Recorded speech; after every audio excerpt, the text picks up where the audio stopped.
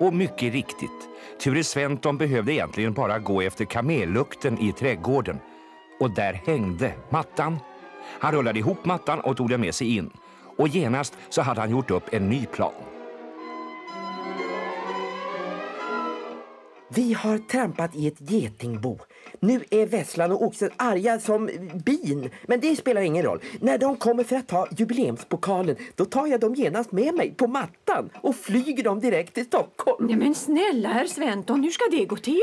Enkelt. Jag lägger mattan på sandplanen här utanför och när Vesslan och Oxen kommer så går de genast fram till mattan och så snart jag har dem ombord så startar jag och flyger till Stockholm. Nej men snälla herr Sventon, varför skulle bovarna just gå fram till mattan? Mycket enkelt. Den stora jubileumspokalen kommer att stå mitt på mattan. Oh, men kommer de att försöka ta den då? Om herr Sventon själv sitter på mattan? Jag kommer att vara förklädd till en tioårs pojke i en vit sjömanskostym så jag har ingenting alls att vara rädd för. Så enkelt är det.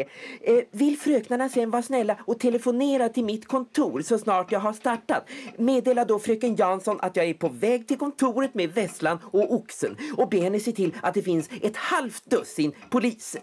Och, och att det finns många tidningsmän förstås när vi kommer fram där på eftermiddagen. Och, och så fotografer!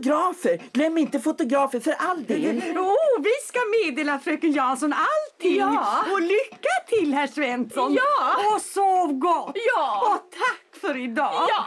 Ja, ja, tack detsamma. Aj! Eh, Ja, eh, nu får jag gå och ta mig det här enbärsriset och sen så ska jag ta mig en tupplur. Men först ska jag ha mig en liten temla. Nej visst, nej.